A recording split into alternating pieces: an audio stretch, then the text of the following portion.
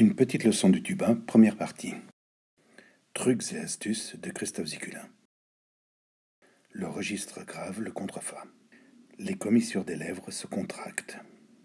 Laissez de la place entre les lèvres et les dents pour une bonne vibration.